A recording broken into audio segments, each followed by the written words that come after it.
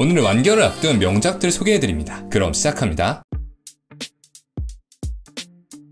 네이버 웹툰의 남자의 첫날 밤을 가져버렸다입니다. 소설 속 엑스트라 백장룡의 리플리에게 빙의한 주인공, 평범하게 백장룡의 삶을 즐기려 했지만 술에 취해 원작 남주 제로니스와 하룻밤을 보내버리는데요. 그렇게 다시 엑스트라로 되돌아가기 위해 원작 여주랑 남주도 이어보고 갖은 노력을 해보지만 제로니스는 리플리를 놓아주지 않습니다. 20년 7월 7일에 연재를 시작한 작품입니다. 어느새 2년이 지났었군요. 외전까지 약 100화를 조금 넘어서 22년 8월 9일 마지막 화가 업로드 됐습니다. 로판의 정석 같은 작품입니다. 감정을 표현할 줄 몰랐던 제로니스가 다정남으로 변해가는 과정 과정, 악녀가 있고 위기가 있지만 리플리가 현명하게 해결하거나 남주 파워로 해결하기도 하죠. 물론 사업에 실패하거나 원작 여주가 흑막이 아니거나 클리셰를 벗어나서 재밌는 부분도 있습니다. 몽실몽실한 기분이 드는 동화 같은 작화가 장점입니다. 원작 삽화가를 맡았던 MSG 작가님이 웹툰 작가까지 맡아서 이슈가 됐던 작품이죠. 그리고 중반부터 리플리와 제로니스의 꽁냥거림이 과해져서 꼴값을 떤다니 참 볼만합니다. 네이버 웹툰의 엔딩 후 서브남을 주웠다 입니다. 소설에 빙의해서 최애캐였던 서브남주 리히트와 결혼을 위해 무작정 북부로 간 피오니에 춥고 어둡고 위험한 북부지만 최애 리히트를 보는 것만으로 행복했다. 그런데 한껏 까칠해져서 막말만 해대는 리히트, 피오니에는 리히트를 주울 수 있을까요? 20년 12월 15일에 연재를 시작해서 22년 8월 9일까지 약 80화를 연재 중입니다. 얼마나 더 연재를 하실지 모르겠지만 거의 끝에 와 있는 건 확실합니다. 일단 원작 소설 내용은 다 끝났거든요. 지금 각색된 내용이 진행 중이에요. 각색이 많이 들어가면서 원작보다 더 재밌어졌다는 평을 받는 작품입니다. 까칠하지만 흉부만은 큰 리히트에게 한참 빠졌던 적이 있는데 어느덧 완결을 앞두고 있다니 시원섭섭하군요. 츤데레 리히트는 이제 피오니에 한정 사랑꾼으로 변해버렸으니 궁금하시다면 유료화 되기 전에 얼른 몰아보세요. 네이버 웹툰의 로판 빙의 만화입니다. 소설 속 여자 주인공에 빙의한 주인공, 그런데 악녀, 남주가 모두 빙의자였습니다. 제목 그대로 로판 빙의 만화. 사람 생각은 다 똑같다고 다들 각자 원작 내용을 피하려고 도망쳤는데 참 운명처럼 한 저택에 다시 모이게 되어버렸습니다. 개그 만화입니다. 22년 5월에 연재를 시작했고 22년 8월에 61화 끝으로 완결이 났습니다. 나중에는 치킨 사업을 벌여요. 역시 돈을 벌려면 개인 사업이다. 과연 3명은 로판에서 탈출할 수 있을까요? 네이버 웹툰 곱게 키웠더니 짐승입니다. 쉽게 말하면 갑자기 황녀가 된 여자아이가 냥줍을 하고 인생 역전을 하는 스토리입니다. 고양이가 알고 보니 세계관 최강자였거든요. 어, 고양이가 집착이 점점 심해지는데 집착을 하니 더 귀여워집니다. 황제의 사생아 블론디나 그리고 흑표본 신수 에이몬의 이야기입니다. 20년 12월 연재를 시작했고 무료분 기준으로 8월 27일 93화로 완결 예정입니다. 뒤에는 외전이 이어지네요. 초반에 재밌게 보다가 블론디나가 삽질 너무해서 잠깐 하차했던 적이 있습니다. 최근에 다시 읽었는데 그 부분만 넘기면 오해 풀고 달달해집니다. 완결 기념 기념으로 쭉 한번 읽어보세요. 19년 4월에 연재를 시작했고 22년 5월에 완결 네이버 웹툰의 정년이입니다. 술랭이 분들이 가끔 추천해 주셨는데 어, 채널에서 처음 소개하는군요. 원래 읽고 있던 작품이었어요. 연기와 노래를 같이 하는 무대 국극을 하는 소녀들의 이야기입니다. 시골 소녀 정년은 서울로 올라가서 유명 국극단에 들어가고 주연 배우를 꿰차서 스타가 되고 싶어 합니다. 하지만 주연 배우의 길은 멀기만 한데 과연 스타가 될 수 있을까요? 현대로 생각하면 뮤지컬 배우들의 이야기입니다. 제가 국극은 모르지만 웹툰만 보고 있는데도 노래가 들리는 것과 같은 생생한 연출을 자랑합니다. 그리고 서사가 좋아요. 정년이라는 드라마 한 편을 보고 있는 듯한 느낌입니다. 연기를 배우는 장면과 연기를 하는 장면이 특히 재밌습니다. 드라마 스토리를 좋아하시면 꼭 봐보세요.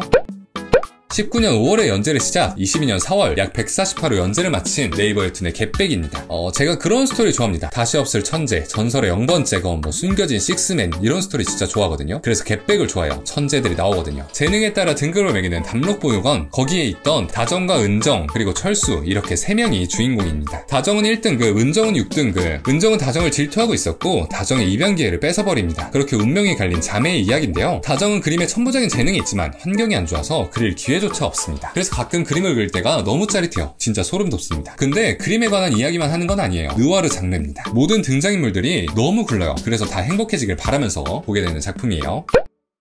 카카오 페이지, 카카오 웹툰의 녹음의 관입니다. 자기가 쓴 소설에 빙의해버린 주인공, 하필 남자 주인공에게 트라우마를 안겨주는 계모의 딸로 빙의합니다. 하지만 난 소설의 창조주인 걸 그렇게 남주를 행복하게 만들기 위해 열심히 노력하는 란의 이야기입니다. 남주인 유스타프가 캐리하는 작품이에요. 전개가 빠르고 그림체가 예쁜 것도 좋지만 남주의 매력이 가장 큰 장점이라고 생각합니다. 20년 10월부터 연재를 시작했고 22년 8월 77화를 달리고 있습니다. 아직 완결은 아니지만 슬슬 이야기 마무리로 가고 있어요. 곧 끝날 것 같아서 리스트에 넣었습니다. 근친물이라고 생각하셔서 선뜻 손이 가지 않을 수 있어요. 그런데 피 하나도 안 섞인 남남이니까 어, 그 정도는 허락할 수 있지 않을까요?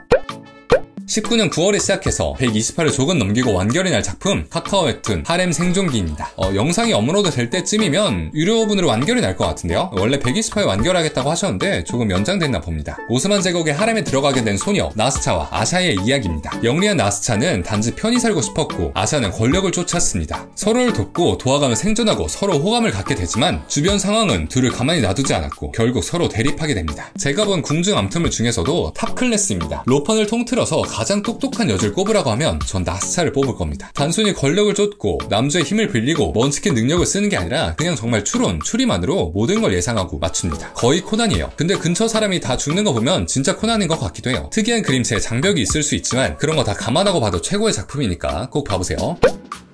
19년도 12월부터 시작했고 21년 9월에 완결이 나고 지금은 외전이 연재되고 있는 카카오 웹툰의 악녀의 남주님입니다. 소설수 여주의 친구이자 악녀 유니페에 빙의한 주인공 어찌저찌 남주와 여주를 피해 살아봤지만 어느 날 술을 마시고 원작 남주 이씨들을 덮치고 맙니다. 아무 일 없었다 생각하고 각자 갈 길 가자고 할 수도 없고 유니페는 원작의 여주인공이 등장하면 빠져줄 생각으로 이씨드와 임시 연인 관계가 됩니다. 그런데 이 남자 다정해도 너무 다정하다 그리고 귀엽습니다. 유니페는 원작 여주가 등장해도 이씨들을 놓아줄 수 있을까요? 능력 있는 여주와 댕댕이 집착남의 정석을 볼 수 있는 작품 남주 이시드의 매력이 작품을 이끄는 가장 큰 힘입니다. 여주 앞에서는 순한 양인데 사실 뒤에선 사납고 무서운 캐릭터예요. 집착이 심하죠. 그래도 유니페 앞에선 감정을 숨기고 다정하게만 대해줍니다. 큰 스트레스가 없는 작품이란 게 마음에 들어요. 나중에 나오는 원작 여주도 악역이 아니거든요. 라이벌 구도가 없는 게 좋습니다. 편안하게 이시드와 유니페의 꽁냥거림을 보시면 됩니다. 참고로 카카오 웹툰에선 꾸금으로 보실 수 있습니다.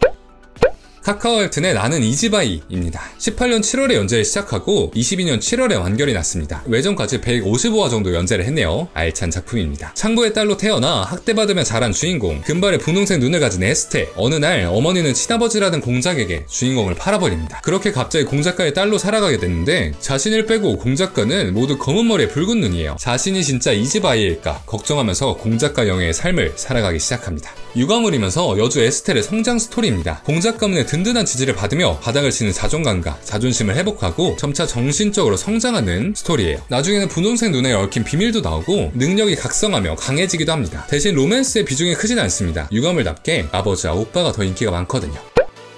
네이버 웹툰의 이번 생도 잘 부탁해 입니다. 20년 6월부터 연재를 시작, 22년 8월 27일 완결이 났습니다. 전생을 기억하는 삶이 어느새 18회차, 12살 윤주원으로 살아가는 주인공, 매번 비슷한 삶의 무료함을 느끼던 차 문서아를 만나게 됩니다. 삶의 특별함을 느끼고 있던 어느 날 교통사고가 나고 주원은 서아를 지키고 죽는데요. 다시 19회차, 반지음이 되어서 다시 서아를 찾아갑니다. 서아는 아직도 주원을 잊지 못했고 과거의 상처에서 벗어나지 못한 상태. 지금은 일단 대차게 들이대보기로 합니다. 로맨스도 그렇지만 스토리, 짜임새, 그리고 반전까지 항상 완벽한 작품을 만드시는 분이죠. 처음부터 믿고 볼 수밖에 없었습니다. 로맨스 환생물입니다. 환생이라는 설정을 이렇게 잘 활용한 작품은 처음이에요. 초반에 서아만 보고 직진하는 지음을 보는 맛, 중반에는 서아와 지음이 썸 타는 모습을 보는 맛, 지음며들어버리는 서아를 보는 맛, 중후반엔 흑막을 추리하는 맛으로 볼 수 있습니다. 외전을 연재 중이네요. 유료화 되기 전에 보시길 추천드립니다.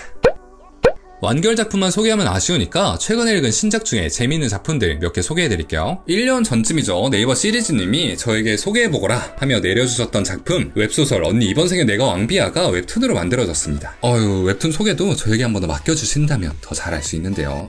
주인공 아리아드네는 사랑하는 체자레를 위해 몸과 마음 모두를 바치며 헌신합니다. 그를 왕으로 만들기 위해 왕세자를 독살하기까지 하죠. 하지만 돌아온 건 배신뿐 체자레는 아리아드네의 언니인 이사벨라를 왕비로 책봉한다며 아리아드네를 처리합니다. 그렇게 모든 걸 잃은 아리아드네는 14년 전으로 회귀했고 이제 복수를 준비합니다. 어, 22년 8월 11일부터 연재를 시작했습니다. 내 남편과 결혼해줘의 로판 버전이라고 생각하시면 돼요. 종교와 황권 다툼이 있는 시대 배경이나 시대 문화를 잘 이해하고 쓰여진 작품이다. 이런 장점들이 많지만 가장 큰 장점은 그냥 한 번도 속이 막힐 일이 없는 사이다 스토리라는 점입니다. 체자레와 이사벨라 이 얼굴만 예쁜 쓰레기들을 처리하는 능력 있는 여주의 모습이 제일 재밌어요. 지금 웹소설은 176화까지 무료로 읽으실 수 있으니 아리아드네의 미래가 궁금 궁금하다면 한번 봐보세요. 네이버 웹툰의 108명의 그녀들입니다. 위대한 마녀 대사는 사랑하는 남자를 황제로 만들었지만 인간을 믿지 못한다는 이유로 그의 곁에 남지 않고 떠납니다. 대신 5년 안에 똑같은 얼굴을 가진 여자들 중에서 자신을 찾아내면 인간이 되어 평생 황제의 곁에 남겠다 했는데요. 그렇게 시작된 내기에 108명의 여자가 참여합니다. 그리고 대사를 동경해서 찾아온 어린 마녀 아리트도 내기에 참여하는데요. 어, 대사 덕후 아리트의 대사 찾기 스토리예요. 인간 문화를 모르는 마녀 아리트의 엉뚱한 행동이 기었습니다. 뭐 저는 황제는 됐고 대사가 누구인지 미리 맞히고 싶은 생각밖에 없습니다. 4화까지만 읽었는데 재밌어서 급하게 넣었습니다.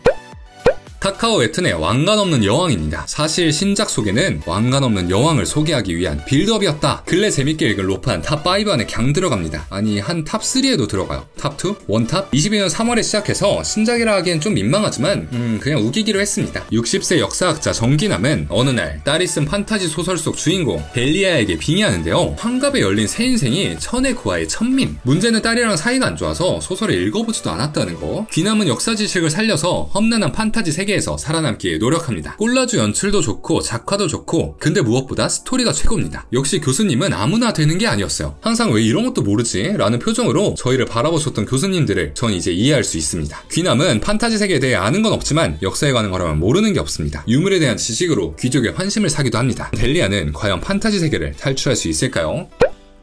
네이버 웹툰에 멜빈이 그들에게 남긴 것입니다. 평화로운 네오스성 멜빈 네오스가 성주가 되는 즉위식의 하루 남은 날 숙부의 반란으로 멜빈이 죽고 맙니다. 그의 동생 세릴 네오스도 죽을 위기에 처하지만 멜빈의 친구 펠릭스가 나타나 구원해주는데요. 펠릭스는 세릴의 복수를 돕기 위해 가짜 혼약을 제안했고 그렇게 어색한 결혼 생활이 시작됩니다. 잘생긴 남자를 1화 만에 죽여버려요. 잔인하군요. 회귀도 아니고 환생도 아닙니다. 여느 로판들과는 좀 다른 신선한 매력이 있어요. 세릴은 복수를 성공할 수 있을까요?